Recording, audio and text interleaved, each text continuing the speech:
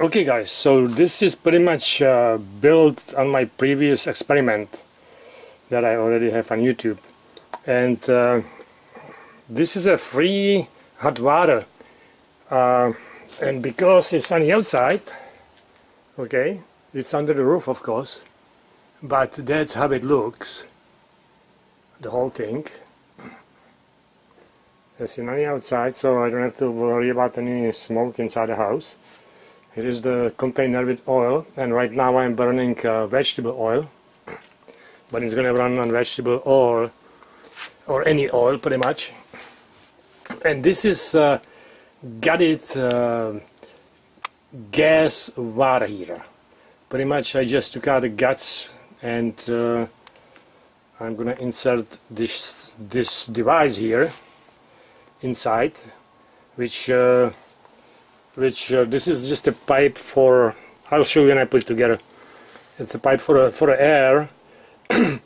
The um, oil is getting fed through pretty much the this tube here is just sitting in this groove and it goes roughly to the middle of the pan. And uh, and uh, this is an overflow just in case uh, that's you know just in case uh, just in case. And uh, this is the hair dryer that is running uh, that uh, that device. And it uh, will take me since I just got here and the water is completely cold nobody was here for about a month uh, so it's gonna take me about 45 minutes to heat it up to the really really hot water under normal reheating is about 20 minutes 25 minutes roughly. So I'm gonna put it together and uh, I'll show you how it works. I know this is against the sun and it's gonna be hard to see but uh, this is the best I can do. Okay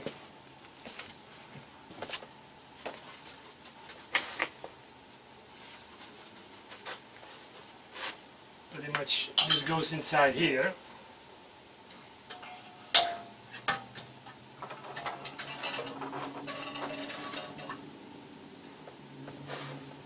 And I have to make sure that the tube is engaged into the groove which is not. And it's kind of difficult to do it by myself but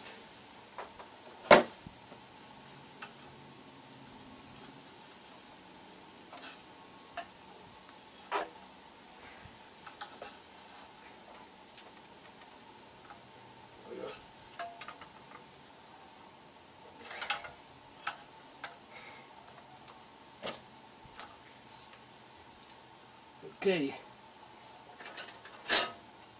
Now it's in.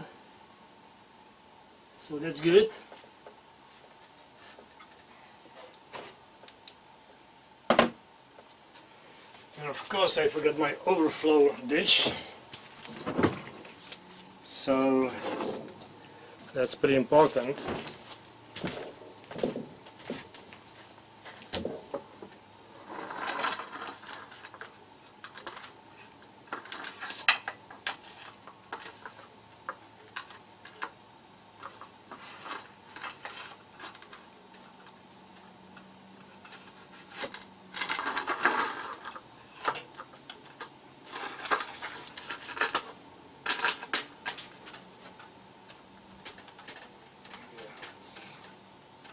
Not sitting properly. But I can adjust the legs, I guess.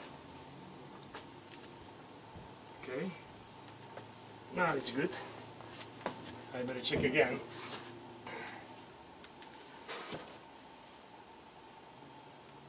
Yep. That seems to be fine.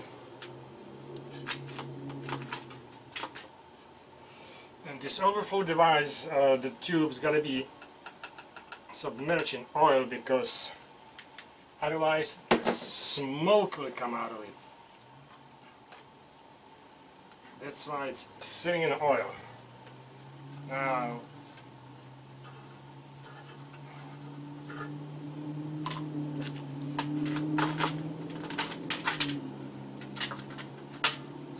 this have to be done kind of quick because this is a mix uh, gasoline and kerosene right here.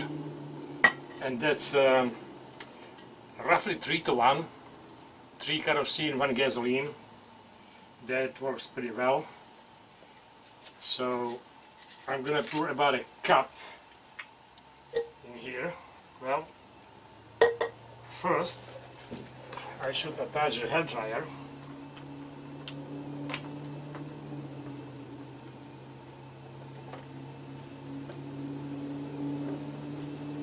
Okay, make, sure the hair dryer is working, otherwise it's going to be a lot of smoke. Okay, and it runs at a low speed, uh, so let's put about a cup in here.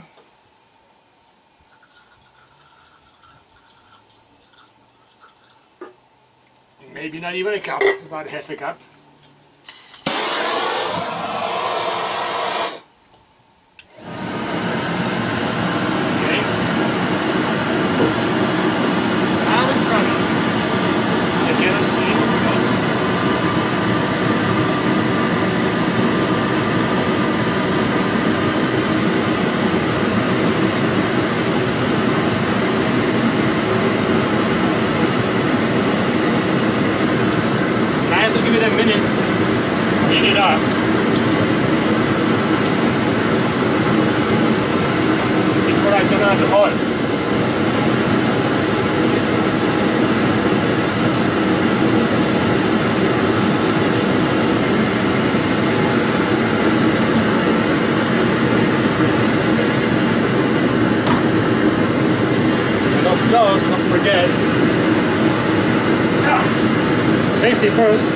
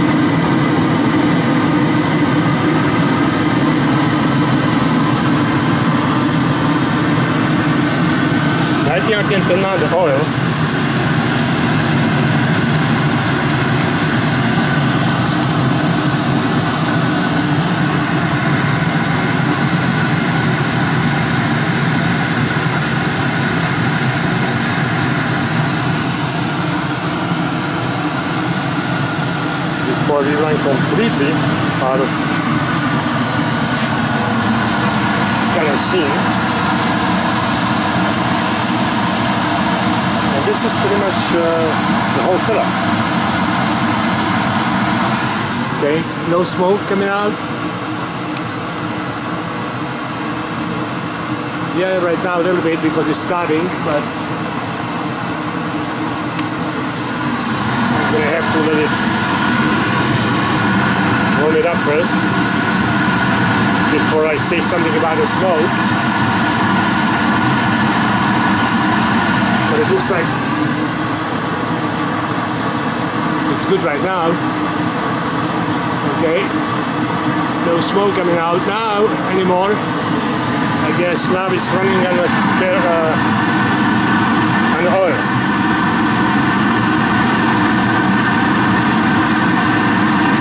Now the problem with this, uh, let me step step back a bit. The problem with uh, this oil is that uh, that oil is very temperature uh, moody. Because when it gets uh, kind of 90 degrees outside then the oil floats like um, water.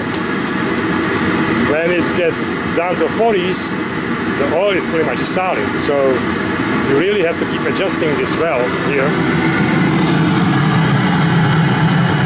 to get it to the perfect flow. You know, it really depends on the temperature. If I use uh, used car oil, then there is no problem.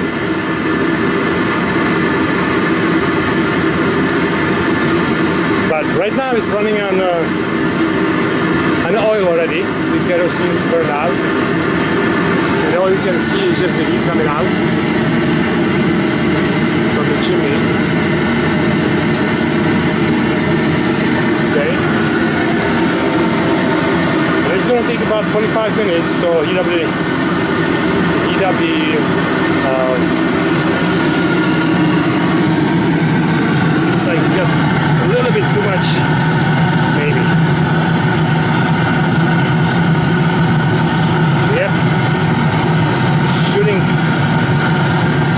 Fire is shooting out.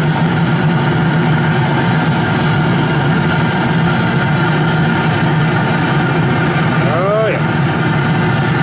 It's like I over overfed the oil right now.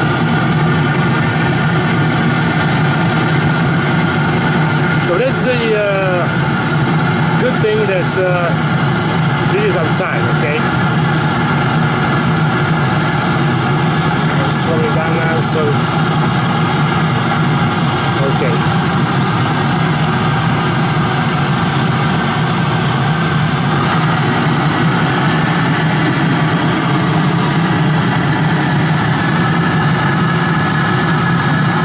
Yeah, I'm gonna have to play with the valve here a little bit so I get a perfect, uh, perfect flame. Like I said, it's very uh, sensitive to the temperature. This type of oil, and uh, it's gonna take about half of the canister, pretty much. Uh, this is roughly about a half a gallon, maybe a little more than half a gallon about a half of the half of the canister will heat up the whole tank from cold to hot. But it looks like uh, now I get probably the right amount of flow. And if you want to look inside, I could uh, get one glove and let's see. I could probably look inside water heater. See what's going on in there, right? Show you what, how it's burning.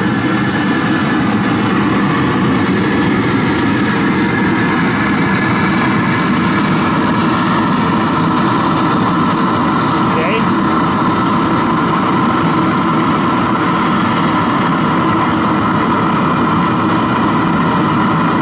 That's a that's a good size of flame right now.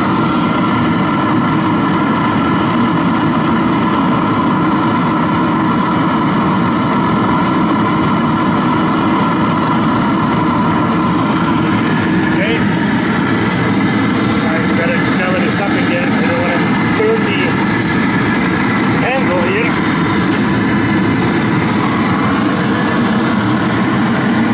Yeah, but uh, this is how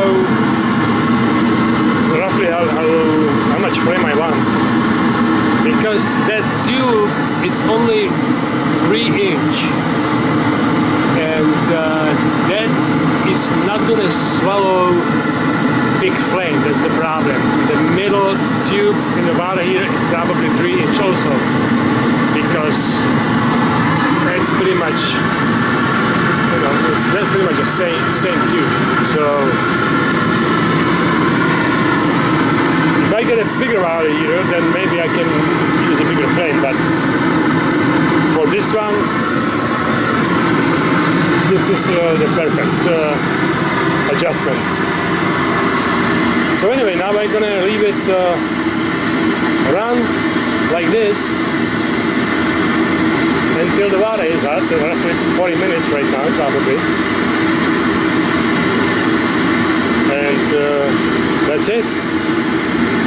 That's uh, been using this since uh, spring, so for about six months. No. All right, later. So I thought maybe I can show you pretty much how it dies when I shut the oil. Okay.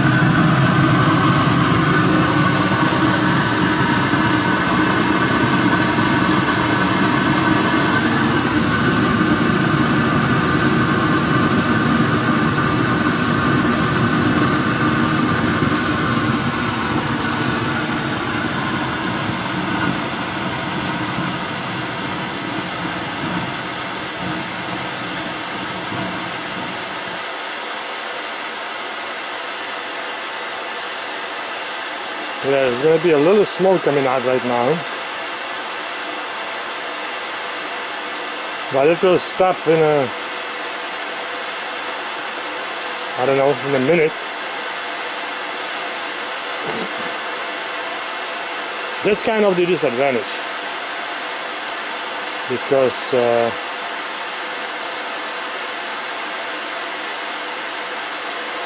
because when you when you shut it off it's the oil will still keep dripping from the pipe and it will burn a little bit under the hot pan but it's not hot enough to pretty much start the flames again so I just run the hair dryer, hair dryer for a minute and it will cool off and uh, it's gonna be fine.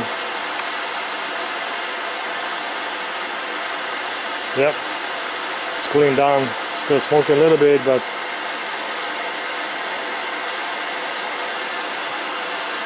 so that's why this is probably only outdoor application, unless you know we can put it somewhere in shed or something like that. I don't know. Yeah, now it's okay just take a minute and it's little cool enough so it doesn't smoke anymore yeah. now I can shut the hair dryer and I'm gonna have a hot water pretty much for the whole day since I'm just myself here when my wife and kids come here then uh, Usually it takes uh, one warming up in the morning and then one in the afternoon. Usually two times a day. And this container will last me probably this will last me at least for three days. Because now just to just to uh, heat it up from uh, warm to hot it's going to take very short time. So you know that's that's probably a three days worth of oil right there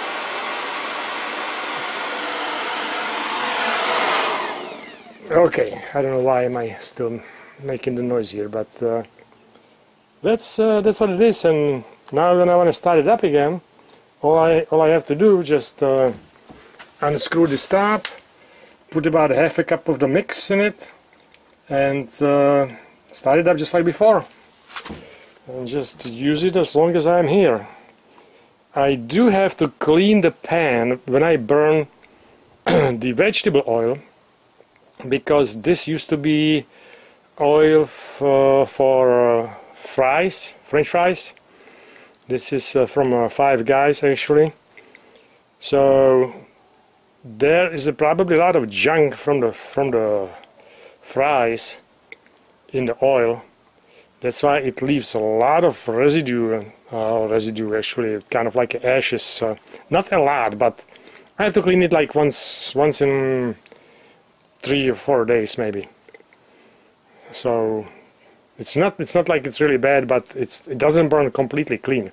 When I burn the, the car oil uh, then that one burns completely clean. There is nothing there is nothing at the bottom. It's just completely clean. Okay I guess I covered all the details I hope. Um, later